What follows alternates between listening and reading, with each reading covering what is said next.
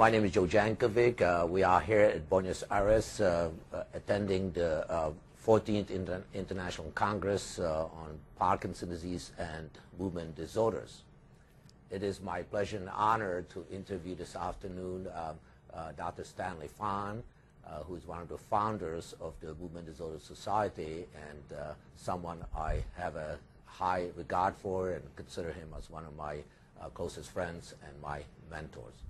So Stan, I just want to start with uh, some introductory uh, remarks and, and, questions about your background. Can you just tell me a little bit about your training uh, and your background uh, before you got interested in neurology and, and, movement disorders? Sure, Joe. First of all, I'm very grateful that you're interviewing me because I agree with you. Uh, we are close friends, and it's very nice to chat with you like this. And uh, I enjoyed having you as our student, and I felt responsible for your training in movement disorders. So uh, it's really great to have you as the interviewer.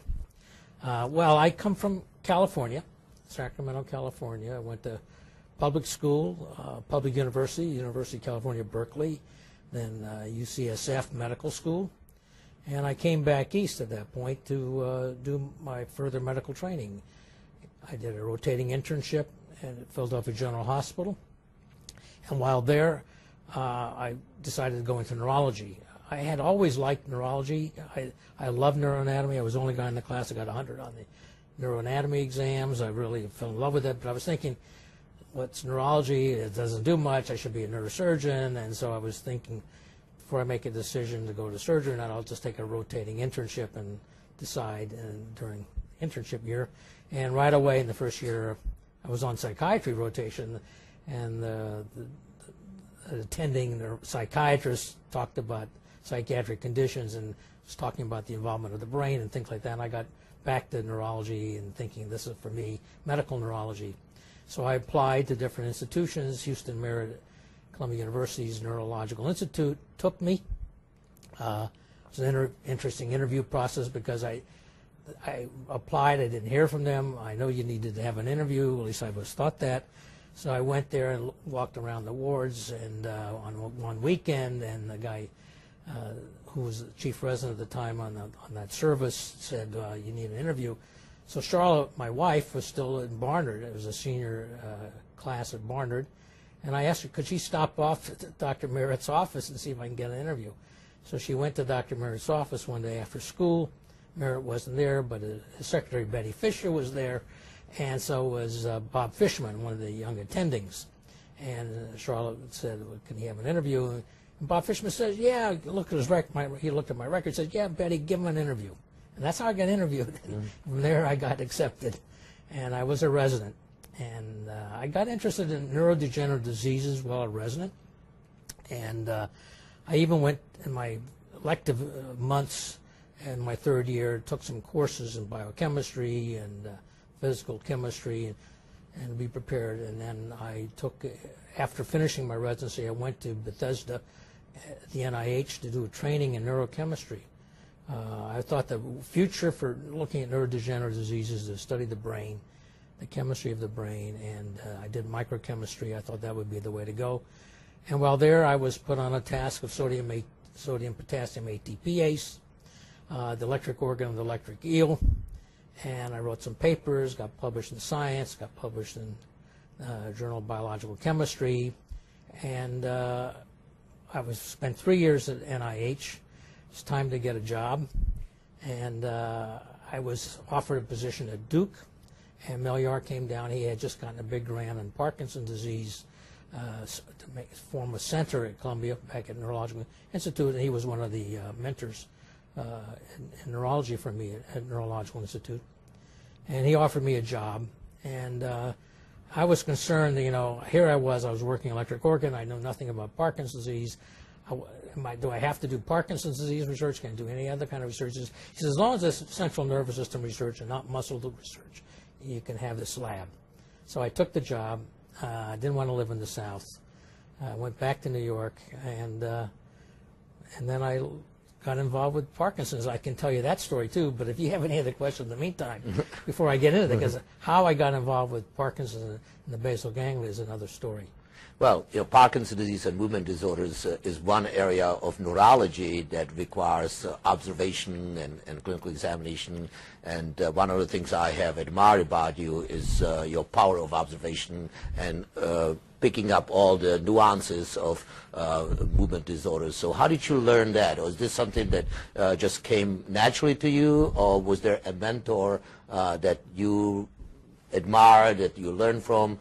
Uh, to to make this uh, a power of observation and uh, then use that to make your clinical diagnosis and, and make all these observations about the phenomenology of movement disorders? Well, the phenomenology, which is what I really, I think I tend to specialize in today, uh, I didn't start out that way. Uh, I was still a, a, neurochemist. I had a research lab, and I had to go to general neurology clinic one afternoon a week. Uh, I also went to the Parkinson Clinic an afternoon a week, and uh, but I was really basically in the lab. Uh, but what turned me on to the, to, I'll say basal ganglia first before I talk about movement disorders, because that term wasn't invented the time I was this period I'm talking about. It was 1965 that I went to the Neurological Institute to start out as an instructor in neurology with my own research lab, uh, with money supplied through Mel Yahr and the NIH. And I was working, I bought electric eels, I was working on the, again, still on sodium ATPase. But then in September of 1965, no, maybe it was November of 1965, the month is important, uh, there was a, the first international symposium on the basal ganglia uh, that I, at least I'm aware of, at least on the physiology, pharmacology, and biochemistry of the basal ganglia and Melior, Lucien Côté, David Nachmansohn, uh, Mimo Costa were the four heads of organizing that. And I knew nothing about the field, but I went to the, I sat through the two-day symposium, and uh, the thing that turned me immediately onto basal ganglia was Oleh Hornykiewicz's talk. This was 1965. Now he had discovered deficiency of dopamine in the basal ganglia in 1960 in his first paper but I really wasn't un, really unaware of all that.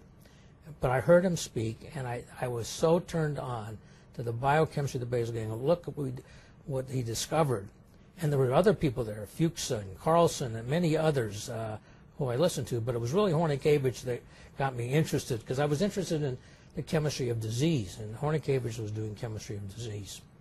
So after the, the symposium was finished, I went to my colleague Lucien Côté, who had another lab. He was working on something else. I told him I was really interested in it, and I want to study the biochemistry of the basal ganglia, and try to figure that out. Would he be interested in joining me so we can go much faster? So we divided up the work. We learned the new assays, how to measure GABA. Uh, we, measured, we already had the assay for potassium ATPase, but we looked at acetylcholine esterase and choline acetyltransferase enzymes, and we mapped out the basal ganglia. We were the ones that show high levels of uh, at least the dopamine system and the GABA system, the substantia nigra, among other things, and the globus pallidus had a lot of GABA, and uh, we were very excited. Uh, and it was when we were doing that kind of work, and we finished it, uh, there was a at the time the Montreal Neural uh, World's Fair was going on, and Andre Barbeau organized an international symposium on Huntington's and other basal ganglia disorders. Uh, it was mostly about the genetics uh, that he was interested in. And uh, we, Lucien and I went and we gave a paper on the substantia nigra, uh, showing how it was a dynamic, the one nucleus in the brain that had the highest activity in GABA and tyrosine hydroxylase. And uh, while we, after we finished our paper, and at the break, a fellow named David Marsden came up to us, and I didn't know David at the time, but he had worked. He was younger than me. He had worked on the substantia nigra as a medical student. That was his thesis, and he his uh, thesis showed that the substantia nigra grew in stature through phylogeny. In other words, as the animal species developed further and further along, the substantia nigra was bigger. But there was also neuromelanin, and neuromelanin was considered a waste product. No one knew what the neuromelanin did, and David Marsden's thesis was this: this is the big waste deposit, the garbage can of the brain, and there's and has, has no activity just to dump this neuromelanin in there. And so when he heard our story about how all this enzyme activity was there, he was struck dumb. he came up to us. He wanted to learn more. And that, that night, the three of us, Lucien, David, and myself, went out to the World's Fair, took rides on the roller coaster and many other rides. We had a great time together. We got to know each other. And uh, that started a friendship with David. Uh, well, we continued our way. David went back to London, and we went back to New York. And uh, then my one of my uh, mentors at Columbia was uh, Lewis P. Rowland, Bud Rowland. And Bud was given the chair at the University of Pennsylvania. Uh, and he took it and he asked if I would go with him, but he, he wasn't ready for me yet. He had to get a grant and get a labs going. And would I wait a year and come with him? And I said I would give it some consideration because when he went there, Milton Shy left NIH to come, or left Penn to come to Columbia, so it was a real switch. And uh, Milton Shy wanted me to stay and, and so forth. But then Milton died uh, one month into his uh, chairmanship at Columbia. Sudden death, heart attack. Found dead in his office early one morning. Uh, and uh, then Dick Masland took over as chairman, and I decided by then that I would go with Bud to Penn. Uh, when I went, by the time I left Columbia to go to Penn, this was 1968. In 67, the paper by George Cotzias came out about D-L-Dopa and Parkinson's disease. New England Journal was a major breakthrough, revolutionary uh, advance, really, uh, about people getting better with this high dose of D-L-Dopa. And R- Mel was running the Parkinson clinical unit, and Roger Duvoisin was one of his uh, leading uh, assistants. Uh, Roger went out to, to Long Island to see uh, George Cotzias' work recognized the dyskinesia people have, told George about it. George was not a clinician. He was a pharmacologist, basically, but trained in, in, medicine. He had an MD. And he came back, uh, Roger came back home and said he got all these dyskinesias, and that was really true that this really works, uh, the L-DOPA. And so at that time, Mel Yahr decided, let's get L-DOPA. In the meantime, that was what George Cotzias was doing. He, he got L-DOPA. Uh, uh, which got rid of some of the side effects from the L-dopa, and he used half the dose. And uh, while George was publishing another paper in 1968, the follow-up paper with L-dopa, Mel Yahr was doing L-dopa double uh, double-blind trial at the Columbia Group. Uh, Peggy Hoehn was one of the other people, uh, Bob Barrett, M- Myrna Scher, and, and Roger Duvoisin. Uh, I was not a clinician then; I was in the lab. So, but I was interested in what they were doing and everything, and L-DOPA was working. And so when I was ready to leave in 1968 to go to Penn, uh, I told Dr. Rowland, well, I would like to start uh, L-DOPA uh, treatment. And so we, I went to Penn. Uh, I teamed up with uh, Gabriel Schwartz, a senior cl- clinician there. Uh, he was interested in it too, and, that, and he had some of money that from his practice, and he was willing to buy L-DOPA from the chemical house, get it packaged into capsules, uh, and then sell it to the patient. So we made a little profit each time in, in order to buy more L-DOPA. And we did that. We, we were the center at that time in Philadelphia, bringing in a lot of patients. Uh, so we were one of the early groups, I mean, obviously you are and Cotzias, but also others, Charlie Markham and others and other institutions. Uh, uh, and we're doing the same thing. Harold Klawans, for example, in Chicago and so forth. Uh, and so we and we published some of our work at that time. But I got experience with L-DOPA uh, right then and there. And while I was a clinician at that time, I was doing the work in the lab, but also running this trial in L-DOPA. Uh, I became interested in uh, other movement disorders, but we didn't have a name for movement disorders. When Dr. Rowland asked me to start a Parkinson clinic, after, shortly after I joined, I told him uh, because I was already we already knew about dyskinesia and dopa that there was a connection between abnormal movements and Parkinson's, and dopa makes a Parkinson akinetic person into a hyperkinetic person. So I uh, told Bud, look, it I I would run the clinic, but I don't want to call it Parkinson clinic. The Parkinson clinic was already at the Neurological Institute. The only other Parkinson clinic there was in the United States, maybe even the world, was at Mass General. Um, and they were the two. Uh, uh, so uh, that that was a we had to come up with a name for the clinic, uh, and we, we we sat just like we're sitting now uh, next to each other, and we're chatting about them, we're trying to come names. And Bud came up with the idea. Well, why don't we just call it movement disorders? I said that's it, movement disorders, We called it movement disorders, and so we started the movement disorder clinic.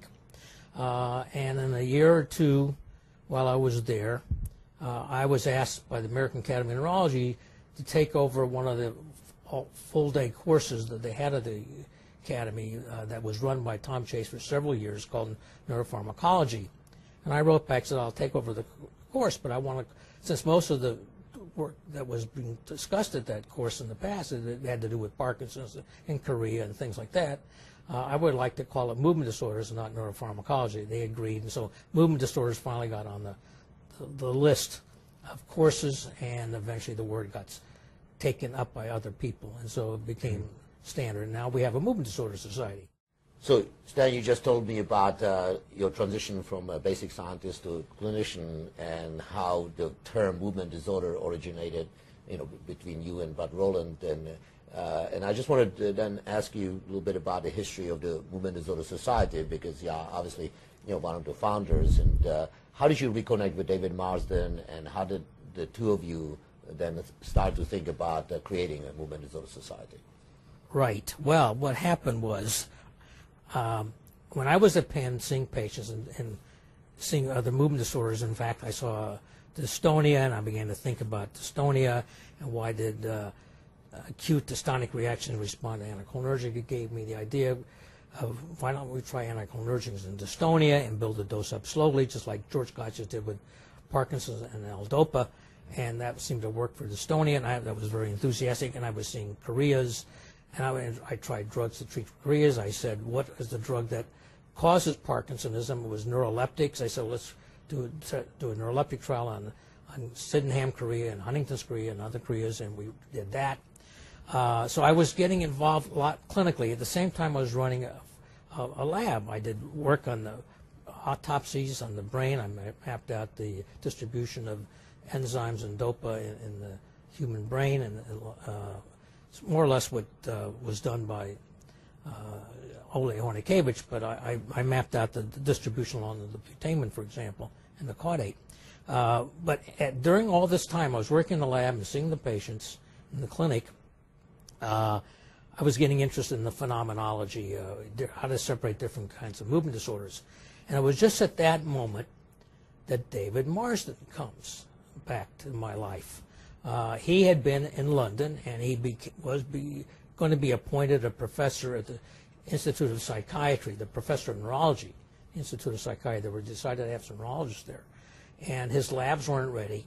And while he was, he had time to kill. Basically, he decided to come to the United States and and sit in with different people and, and make a tour around. He went to Roger Duvoisin first, uh, and uh, who was then at Mount Sinai, uh, Columbia uh, still with, uh, with Mel Yahr.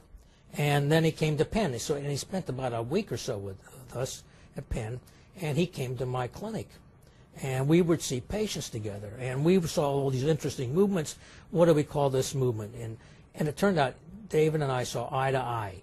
This, this is what chorea looks like. This is what athetosis looks like. These are tremors. This is dystonia. And even though there's some jerky movements, we saw the repetitive nature, and we said this was dystonia. So we were beginning to see the phenomenology and agreed upon it. Uh, and so what uh, uh, I've been, David, of course, left. David made his other tours. Uh, and I was running this by myself. And of course, I was still running the movement disorder course at the academy. And uh, in 1973, Bud Rowland was asked to go back to Columbia and be the chairman there. And he asked me to go with him. And again, it was a tough decision. I had to uproot my family and everything, but I wanted to go uh, back with him. And I had a lab, and uh, I also asked for a parking space. I had a parking mm-hmm. space. Uh, and I had Mel Yahr's office because Mel Yahr was going to leave and become the chairman at Mount Sinai, and I was going to run the Parkinson unit uh, at Columbia. Uh, so that was a step up. And uh, so I went back to Columbia and uh, changed the Parkinson Clinic's name to Movement Disorder Clinic. Uh, and uh, began to uh, not only see patients but run my lab there. Uh, it was while I, I, was at Columbia that uh, I got some information about thinking about starting a journal and, showing videotapes.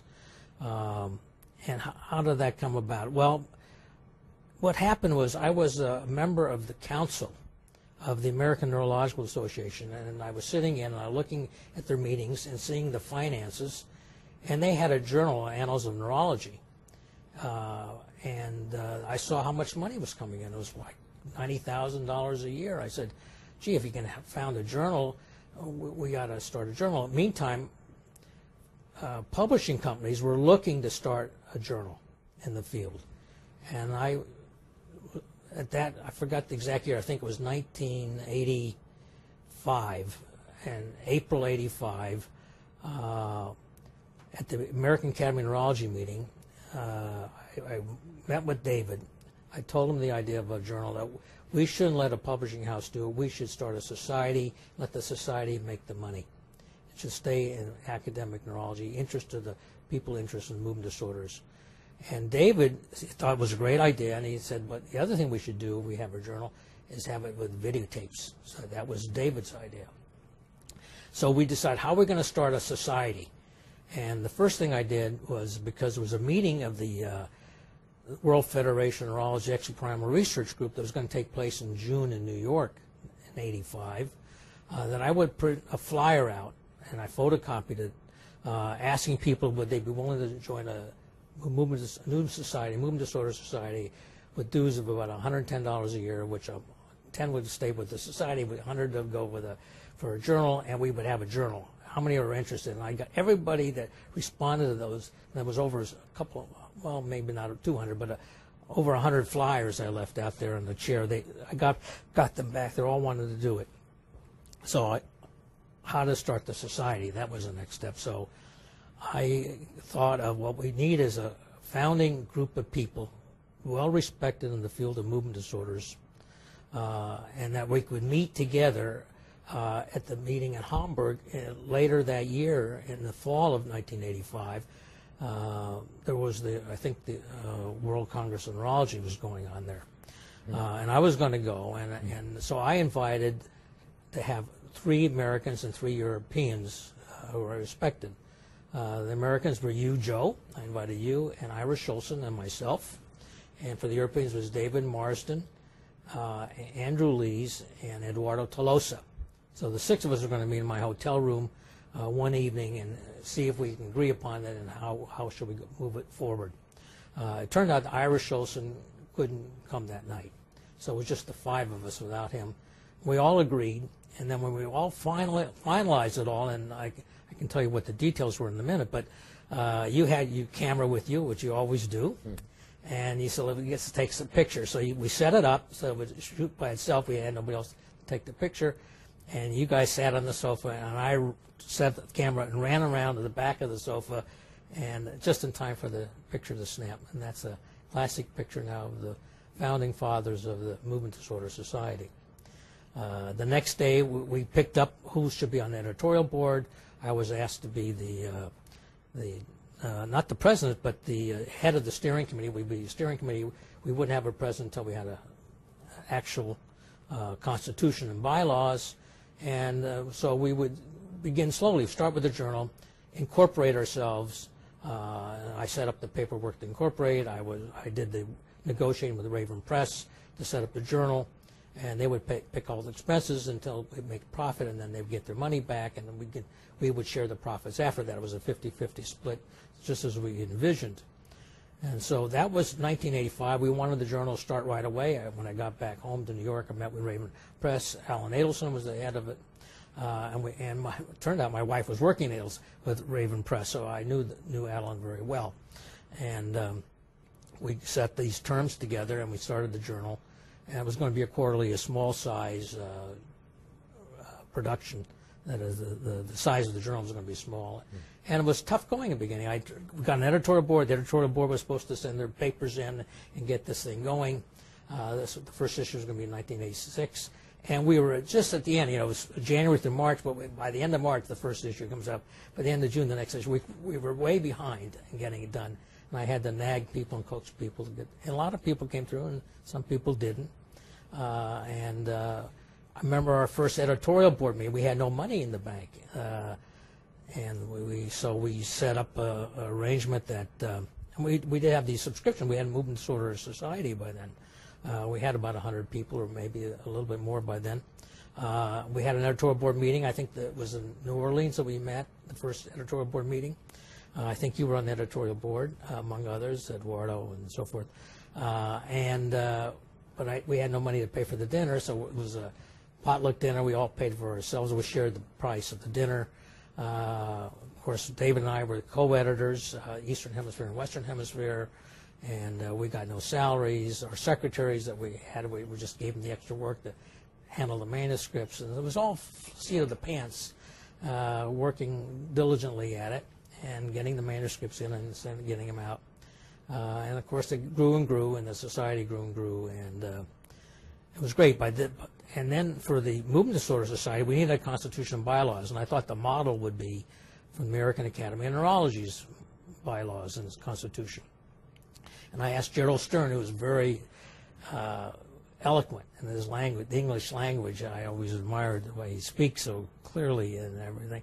I Asked him, here's the Constitution, the bylaws, the Academy. Would you see if you can fix something up that models this for the Movement Disorder Society? And he did. He sent it back, and I did some editing of it, and we got it approved. The first meeting of the Movement Disorder Society membership uh, was, uh, I guess it was a year later. I can't remember the exact year, 1987 maybe. Uh, and that was in Jerusalem, uh, or it was Tel Aviv, I guess. It, it was again the World Federation of Neurology Extrapyramidal Research Group, I think, was meeting, and uh, we we had to vote on the Constitution and bylaws, and then if that passed, we had to vote on officers. And uh, I was still head of the for three years. I was heading uh, the steering committee, uh, and I had asked, uh, I think it was you or Ira, uh, to head the nomination committee, Ira Schulson, uh, and picked, and so I was nominated or picked by the committee to be president, and David Marsden to be president elect. And in those days, it was going to be, I think, uh, we're going to do a three-year uh, tenure, uh, every three years to rotate. And um, Bob Burke, I know, was going to be secretary. And so- it started out that way. Maybe it was two years. I can't remember the, the details now. I have to look at the old notes. But uh, and subsequently, when we merged with ISMD, which is International Society of Motion Disorders, uh, which was mainly a European group, uh, we negotiated keep, a merger, keeping the name Movement Disorder Society, keeping our democratic structure with the Constitution bylaws, but changing to two years and having uh, extra officers of a president-elect, not only the president-elect, but the secretary-elect and treasurer-elect, and that's how the current status is today. And we had fi a 10-member International Executive Committee. That was from the, I think, from the beginning, uh, with rotation off after every two years, uh, but they can be reelected. And there'll be alternate terms, and so they're not all 10 of the elected at the same time, but every two years another five would be elected. And that's how uh, the society started to take off and grow. And then when my term was over, uh, David was president-elect, going to president, and he expanded more committees and things like that.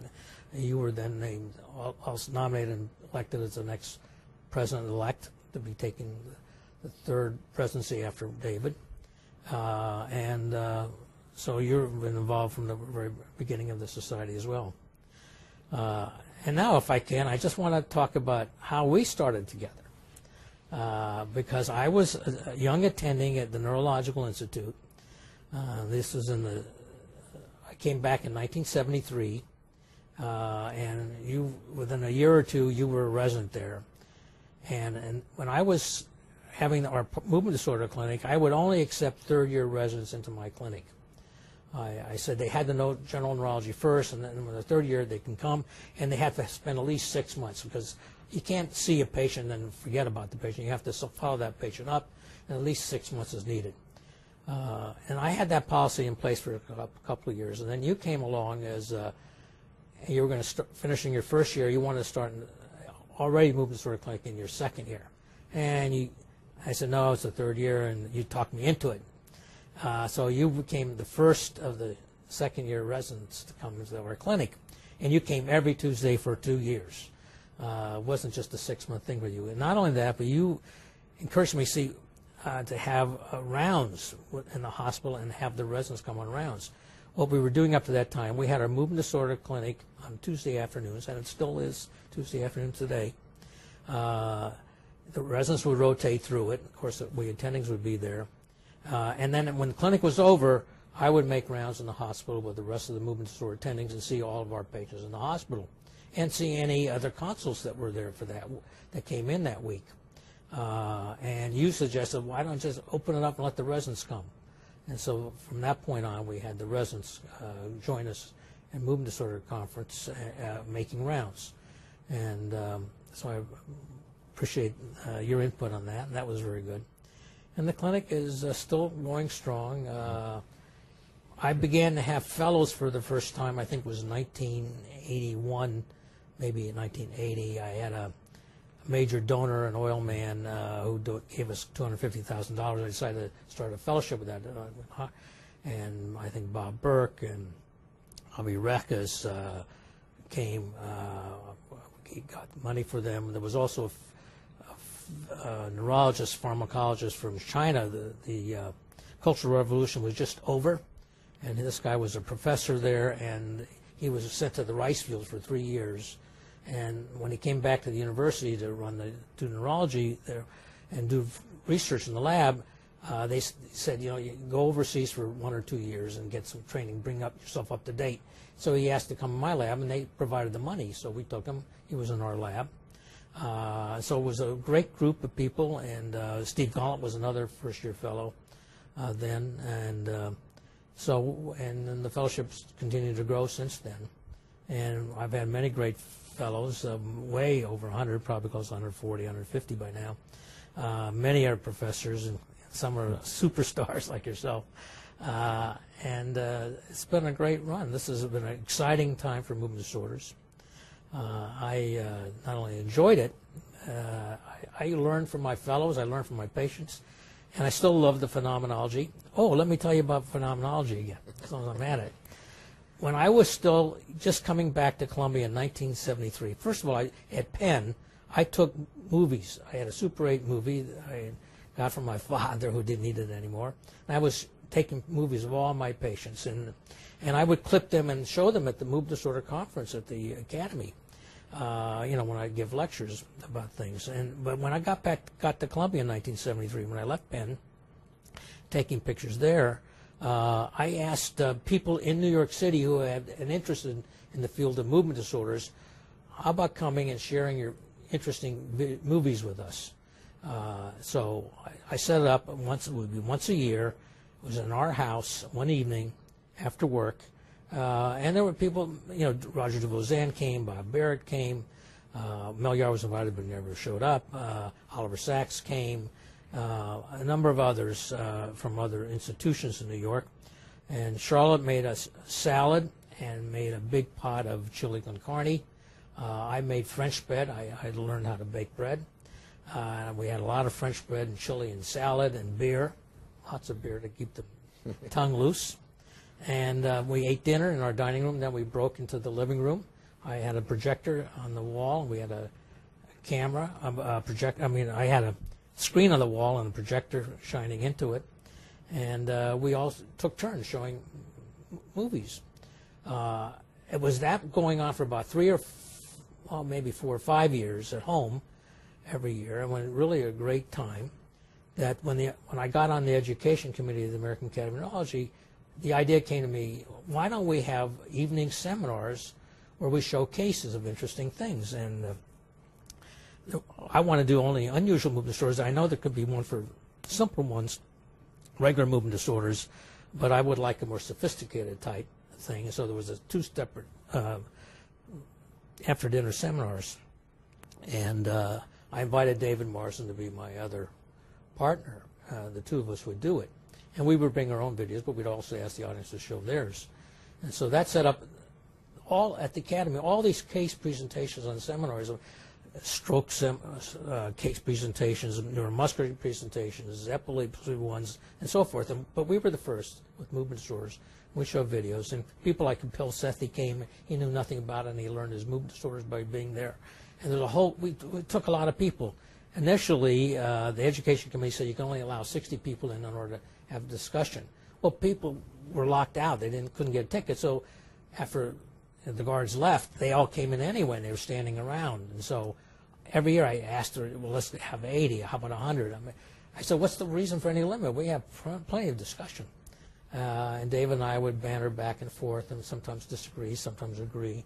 Uh, and it was great. And, and not only that, but that kind of a course taught people what Dave and I were already doing, and this is now in the 70s, uh, uh, about diagnosing phenomenology movement disorders. In those days, it was phenomenology, and that also included psychogenic movement disorders and how to distinguish them. Uh, more, more, recently, as etiology became more important, as people know their phenomenology, becomes more involved with etiology. What's the etiology of this particular type of Parkinsonism, this particular type of tremor, this particular type of chorea, ataxia, and so forth. But in the early days, it was mostly phenomenology. Uh, and I ran that course for 20 years, um, stripping down, and I asked you and Tony Lang to take over. Uh, you, you two were always at the course anyway.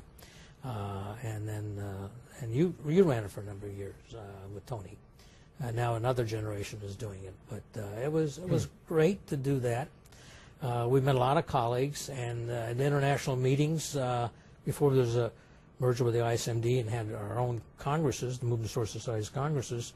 There were congresses of the uh, World Federation of Neurology, and they would have an unusual movement session, and I was asked to run those. And so a lot of people around the world got trained from the, having videos, which of course replaced movies, and we had sound, much easier to edit, and uh, it was very interesting to have all that experience uh, uh, working with people and getting to meet a lot of people around the world. Uh, it's, I would say, movement disorders as a specialty is one of I wouldn't call it necessarily all close knit, but very friendly specialty.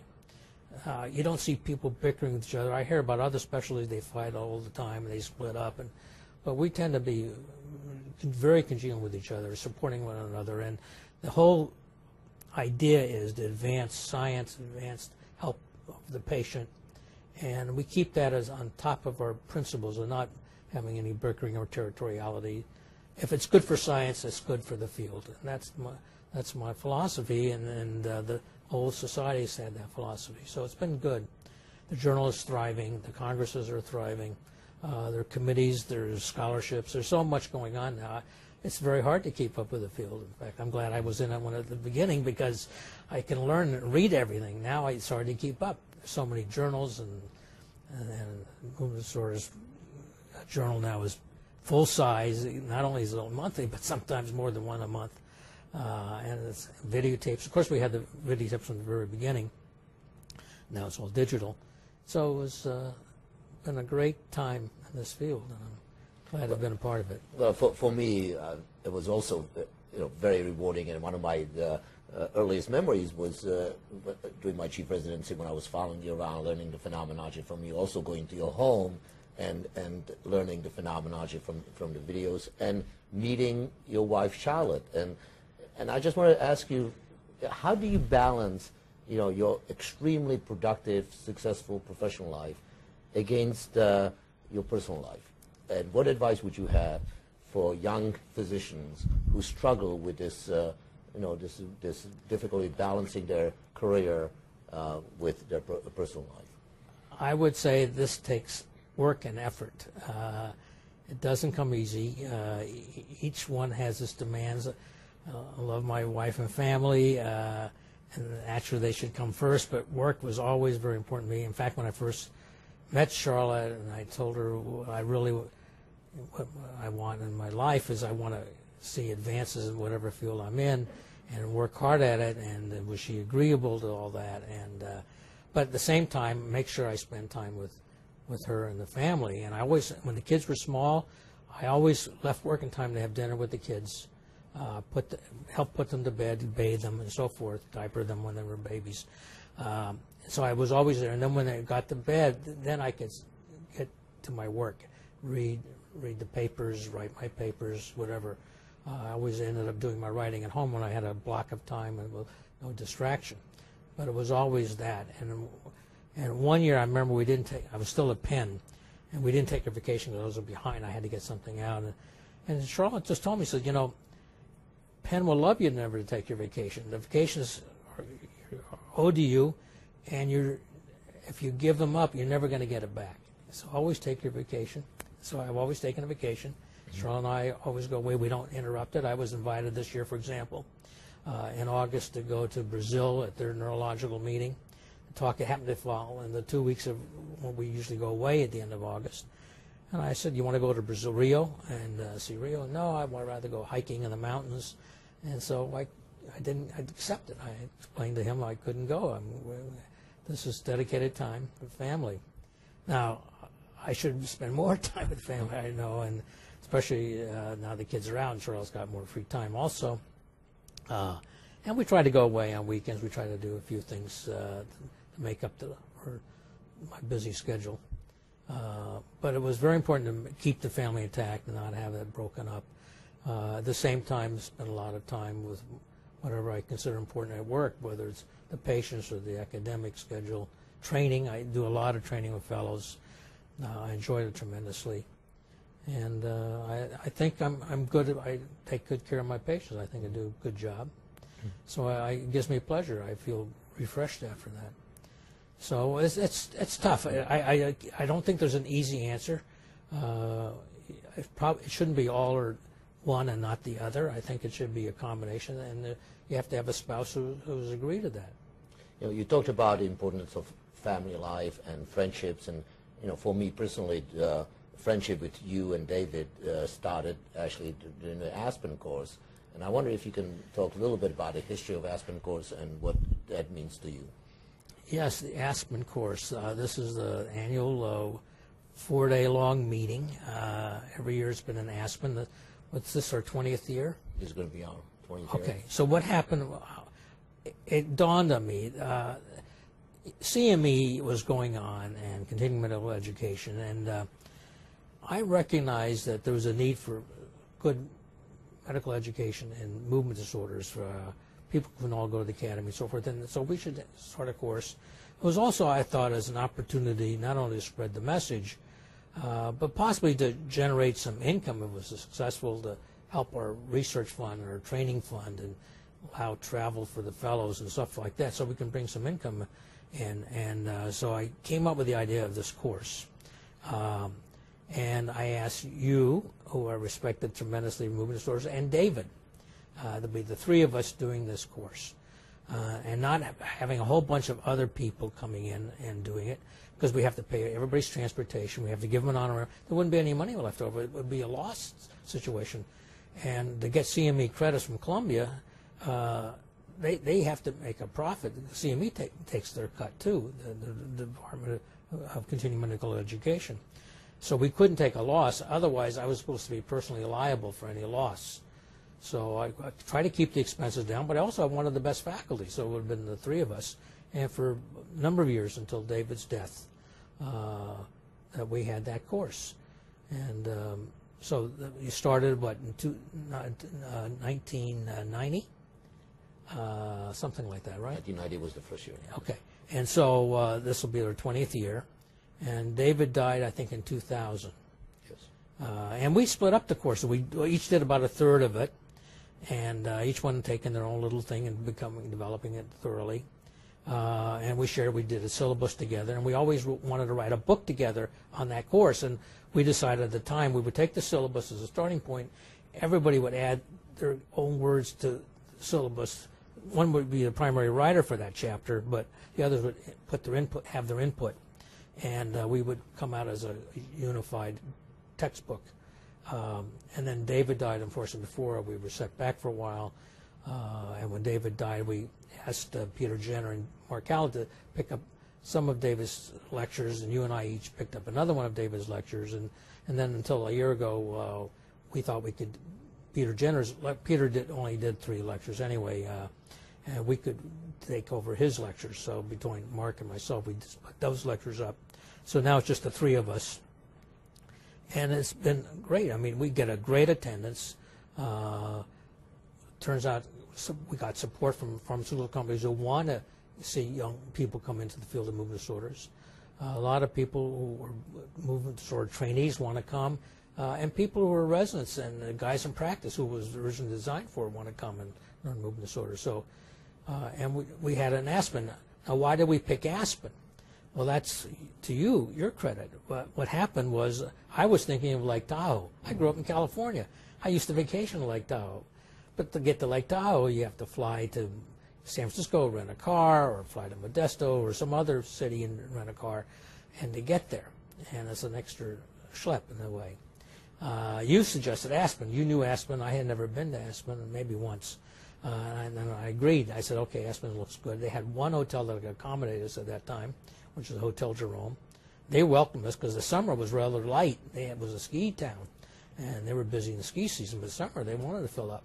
So we had the, we always tried to pick the weekend period around the end of July, beginning of August, so that my view was that people go vacation either in July or August, and so there's either the end of vacation or the beginning of the vacation, and this is a, then they can break from there. If they come to Aspen, then they can vacation uh, in the Rockies or in the West, or use that as a starting point for their vacation. So I thought that was always a good time, and we still have it uh, around that same time. Uh, and it's still four days, and we trimmed it, and uh, but we expanded the syllabus. It was small, and is now big. Uh, now it's all digitized. now it's on a uh, memory stick. Uh, so, and then we have a book. The first book came out. Uh, the, what started with David uh, and you and I, and Mark and Peter Jenner added some chapters. They really took David's chapters and worked on it, and we added to it. Uh, and then the next year, the next edition, we'll have uh, Mark Hallett as one of the co-authors, being equal footing with us.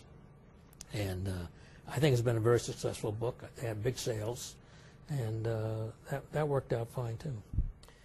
Let, let me conclude with the question that I always ask uh, fellow applicants. Uh, I always ask them, where do you see yourself 10 years from now? So I'm going to ask you, where do you see yourself 10 years from now?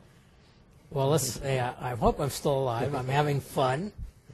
Uh, I'm at an age of retirement, past it actually, but I love what I'm doing, and I think I still do a great job, and I think I still keep a cohesive team together at Columbia. Uh, I, I just don't see myself doing something differently. I, I just, to me, this is great joy. Now, obviously, at some point, I, I have to step aside. Uh, I will probably be retired in 10 years, maybe before that, obviously. Um, and I will, don't know what I'll be doing. I just don't know what I'll be doing in retirement. I'll probably like the garden. I might come into the rounds of the Neurological Institute and uh, see you know, the cases with them or do some teaching uh, and still be around. Uh, and I certainly would spend more time with Charlotte by then. Uh, she probably wants me to retire now and spend more time, so we travel. And we have now three little grandchildren. That's another thing. We would visit them more, and uh, we'll probably do a lot of traveling. I suspect more than we're doing right now. Most a lot of my traveling is with meetings, um, and uh, so we'll probably travel without that in the future. Well, we very much hope that you're going to continue to live for many, many decades and will continue to contribute to the field of movement disorders as well as to have the time to spend with your family. And uh, just from me personally, I want to thank you for everything you have taught me and, and especially for the friendship that we have shared over the years. And I've learned from you Thank too, Joe. So that's this goes two ways. Well, It's like everything, even my patients, I learn from it. Everything, you know, you take it in and you get the best. It's like a sieve. You let this things, garbage go out and, and the kernels stay behind, and uh, that's the fruit. Uh, you should on. never, ever stop being a student. Is that right? Correct. Thank you, Stan. Well, thank you. Thank you, Stan.